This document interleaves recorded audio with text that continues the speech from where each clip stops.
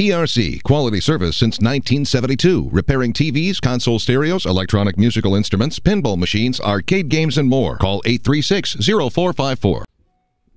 Hello, this is James Spann. This is our Weather Xtreme video. This is for Monday morning, the 7th day of April. Weather always interesting this time of the year. Let's uh, go right to some Skycam images early this morning, and we note that it is a bit foggy down in Chilton County at Clanton. That's our uh, Skycam in downtown Clanton. Looks like visibility only uh, about a mile or so there in fog. Uh, the Birmingham camera showing a little fog in uh, downtown Birmingham, not quite as thick there and pretty much the same view coming from the Inverness Skycam from the Wingate Inn overlooking U.S. Highway 280. Here's the uh, water vapor satellite imagery this morning, and uh, we've got one system up north over uh, Minnesota, pretty good looking shortwave there. A, uh, wave moving off the uh, Florida coast, off the South Atlantic coast, and some wedging going on. Uh, there's a look at temperatures, and really, this wedge not as pronounced as many of them the big story, I guess, is that cold air up north. Look at all the uh, temperatures in the teens, even some single digits up north. Hey, this is uh, getting to be mid April here. Pretty cold for this time of the year. This morning on the radar, if you look very carefully, this is the uh, Maxwell Air Force Base radar, and it's in the clear air mode, but you'll see a few little sprinkles and showers showing up over East Alabama, uh, around uh, Anniston and Heflin around uh, and that seems to be an association with that weak wedge front that's providing some convergence over East Alabama. We have not mentioned rain in the forecast today. Those weak showers are lifting north, and uh, we think with time those will dissipate, but we'll keep an eye on that for sure. Uh, here's a look at the uh, severe weather outlook uh, for today. There's a severe weather possibility, a slight risk over the nation's breadbasket there Oklahoma, Kansas, Missouri, Northwest Arkansas. Uh, tomorrow, the slight risk area expands from near College Station, Texas, almost up to Chicago. That includes Little Rock and Memphis and St. Louis, almost to Indianapolis. And then on day three, the uh, weather risk shifts back off to the uh, west again. The severe weather risk over a large part of Texas and Oklahoma. That could be a pretty big severe weather day Wednesday with the big deep trough developing out west.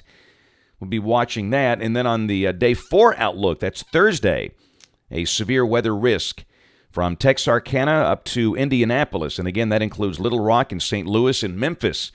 It will be under the gun for several days this week, and there's a chance we could see some active weather here Friday at the end of the week on day five. But uh, in terms of the severe weather potential, we think uh, through Thursday uh, it will be very active, but it will stay west of here. This is the expected rain across the country, valid through uh, Friday evening at 7 o'clock, and this is suggesting rainfall amounts of well, two inches over northwest Alabama, about one inch here, and then it trails off down to uh, not much at all over southeast Alabama. And the heaviest rain from uh, Dallas, Fort Worth, and Wichita Falls, Texas, up to uh, Little Rock and Cape Girardeau, Missouri. It's suggesting some five inch rains up in there. Well, let's take a look at this. Uh, this is where we are at uh, 1 o'clock today. This is at 500 millibars coming off the 00Z GFS, showing a, a strong shortwave moving over the Great Lakes way north of here, and at the surface, that surface low again way north. No direct impact.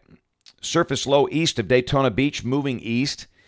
And the real issue here is that wedge coming down from the east. Now, this high is north of Maine, pretty far north, so temperatures probably won't be impacted all that much. But again, the GFS is detecting that uh, moisture area over far east Alabama and Georgia. So it could be for Anniston, and points east today, the sky will be mostly cloudy. And then once you go west of Anniston, the sky's mostly sunny. Tuscaloosa could see low 80s today. Anniston might not get out of the 60s today. Ah, the old wedge.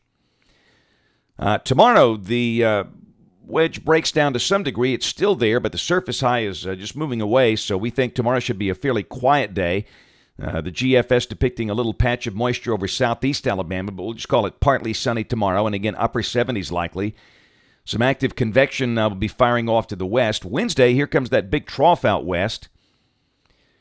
And down below that, uh, we've got one wave uh, that's up over the Great Lakes with a trailing front. We uh, we we do think with that uh, we might see a few showers Wednesday afternoon or Wednesday night, and we have mentioned that in the forecast. But the big severe weather show will be out to the west over Texas. Now, Thursday, the trough deepens. And a big surface low forms over Fort Smith, Arkansas. Again, that looks like an active severe weather day, and there could be enough moisture here for a few scattered showers. But the more organized severe weather threat more than likely would be off to the west. And then on Friday, that trough uh, continues to deepen and gets closer. And at the surface, uh, it looks like they're trying to dry slot us now. The GFS really faster than previous runs. Just got the main squall line coming through here Friday morning. Uh, gut feeling here says it might be slower than that, maybe Friday afternoon, but we'll see. We'll, we'll, mention a good chance of showers and storms on Friday, maybe a few strong to severe storms, and we'll fine tune that forecast as we go along this week. And then Saturday, the trough deepens, and I tell you what, that's going to be a chilly day.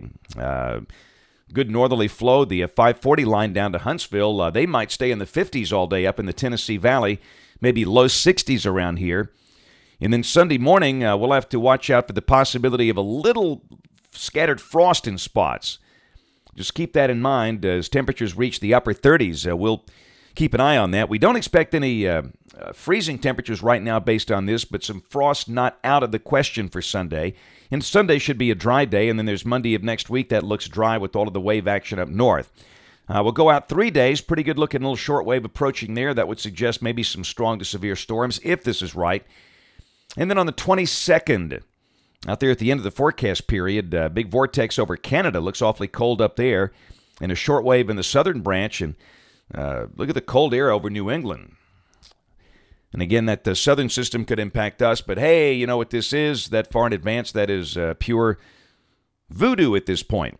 That's it for the Weather Xtreme video this morning. We'll have notes on the blog, alabamawx.com, and uh, we invite you to uh, watch us on television this evening, ABC 3340 News at 5, 6, and 10 o'clock. Again, thanks for watching. Have a wonderful day, and God bless.